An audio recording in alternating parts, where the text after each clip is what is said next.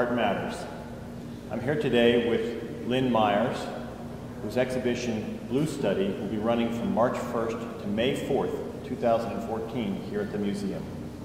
So let me ask a few questions of Linn, and uh, beginning with, how did you decide to become an artist? Oh, I think I was always an artist. It wasn't really a decision. Just, you know, I've always drawn and made art, and I think it probably was my destiny. And uh, did you get uh, training? Did you go to art school? How I did you? How did how did you, how did we get to this? So I went to a special program when I was in high school that was a half day art program. So I went to high school for half a day, and then I went to a different public high school Mm-hmm. where I just studied art. And that led me to going to art school Mm-hmm. for four years to get a BFA.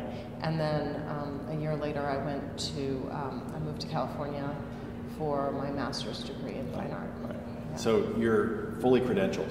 I guess you can say that, or overtrained. Well, I like that. And um, so, really, already in high school, you knew this is what you wanted to do. That's uh, that's fairly rare, but maybe not not unique. Well, I didn't call myself an artist. I think I probably didn't feel I had license to do that for many years, but um, it was always what I loved to do. So and it was always what I spent all of my spare time doing. And you spent a lot of time drawing, Yes, Yes. yes, I've you- always drawn. and you Yeah. still draw a I lot. I do, yeah. Although for years I was a painter, Mm-hmm. and I feel like now I'm sort of um, mixing it up between painting and drawing. Mm-hmm. But I've always drawn. I taught myself to draw when I was a child by copying Leonardo da Vinci drawings. So That's a that's a pretty high standard. well, he's a good master. right. that that's uh, wow. And I, I noticed, and they'll they'll um, uh, we'll make sure that uh, we have a couple shots of some of the works that are on um, notebook paper.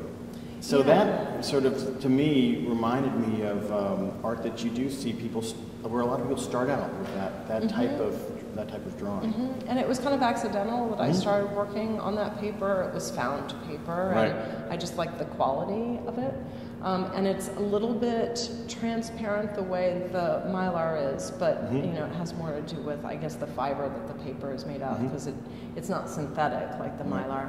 But um, I don't know exactly when I started doing that. It was a number of years ago, and I, I guess I, I love the um, the graph paper that sort of sets a more um, mathematical scene Right. behind the organic line work that I draw. There's a grid. Yeah, exactly. Yeah, yeah. And um, so, uh, if we look at a, at a work like this, uh, the first thing that I think to myself is, wow, that is quite, that took a long time to create. yeah, a lot of people say that. A lot of people say that, I bet. So not nothing original there, but um, it's still it's impressive because you think about the concentration, uh, the rigor uh, that goes in. Could you talk a little bit about your artistic process today, and, and, and how do you?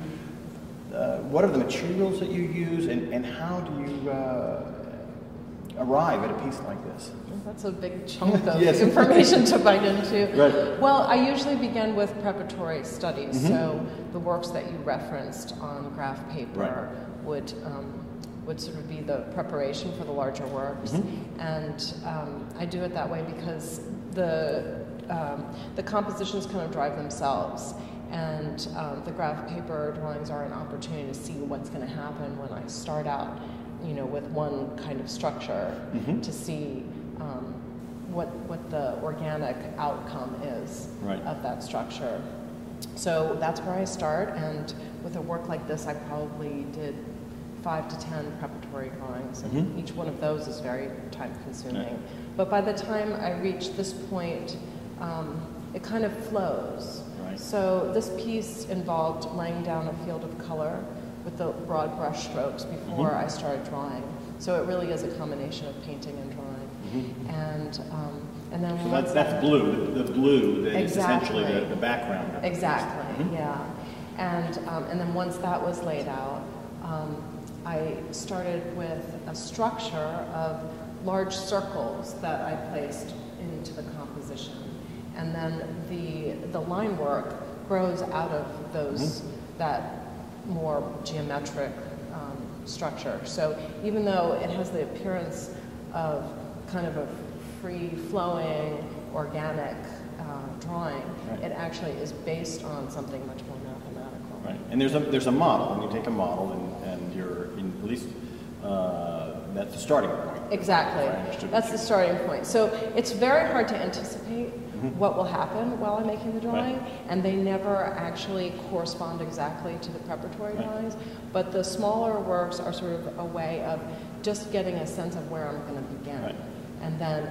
I don't, I don't cling to that outcome. So even though I think I might know where the drawing is going to go, um, you know, once I start on a larger scale, I have to sort of um, give in to the fact that the drawing is going to have its own life and Right. kind of drive itself in a certain direction that I don't have that much control over. Mhm. And um, so I have to ask a question here that we have not talked about before. When I look at a work like this, I can imagine you working, and I think, um, does she go into some kind of a trance? I mean, is there is there because uh, it's it is uh, it's challenging to be able to have that kind of control over the line, uh, and and even with that model in your in your head. I mean, can you talk about that? I mean, when you're working, are you in some kind of zone, or you said the flow? Yeah. Where does what's the experience like? There's definitely a kind of concentration that takes over that doesn't necessarily exist in many different parts of our lives. Right.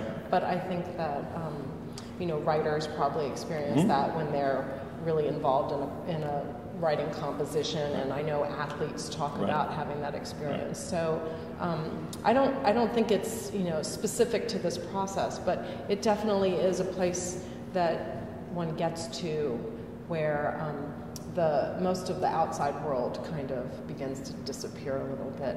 And and the I guess you know some people talk about some people use the word meditation when they talk about my work, and I I think the way in which it's meditative is the way in which thoughts come and go, and um, you know, in in many different places of our lives, we might get into thinking about one thing and then kind of perseverate on that. And with my process, I think that um, you know there's there's a lot more flow to the way that my mind is working. I also try not to get too deep into kind of more concrete thinking. Uh-huh. You know, so it's um, I don't I don't want that to seem like it's a thoughtless process, but it's a more internal process, I guess. Mm-hmm. And my sense is that the the lines are kind of um, a reflection of my internal energy, and so they're You have a lot of energy. Yeah, I do have a lot of energy, and so it's more of a um, kind of a direct translation of my physical self and my internal self onto the um, onto the mylar rather than a more intellectualized approach. Um, I, I would I would note for the people who are, are watching this that we also have some videos of you working in larger projects, and I, I think um, that must be especially hard because uh, when you're in the studio, all right, you can close things out, you can Right. control it, but when you're in a in a museum. Like uh, I believe at the Phillips Collection and uh, a couple other places you've been, uh, you're out there and uh, there are people walking around. And uh, how do you get to that level of concentration? It is different. Right. I think um, I can tune out a lot of what's going on Mhm. around me, um, except for when people are talking directly to me, which I try and dissuade. Right. But um, there's so much preparation that goes into those projects, you know, months of preparation, Right. that um, by the time I'm there and working, you know, my focus really narrows down into the process. Um, the thing that is probably more challenging than tuning out the environment is um, the fact that with those projects I'm on um, a tight schedule. So as you know, museums only have so much time between exhibitions, and so if I'm given two weeks to do a project, then at the end of those two weeks, I have to have a finished work of Right. art. And in the studio, there's always an opportunity to turn around and say, "This one wasn't working. I'm going to toss it and start over again." Right. But you can't do Do- that when you're doing a site-specific project, and because they are kind of organic and a little bit unpredictable, there's a sense of walking a tightrope, which I think is a little bit addictive and Right. very appealing on the in, in one way, and in another way, there's um, something so special about having my private space Right. in the studio and working, um, you know, in a solo manner. Well, it's quite a performance in any case. It is. is, It is. And, yes. and then a lot of people don't necessarily aren't able to experience that.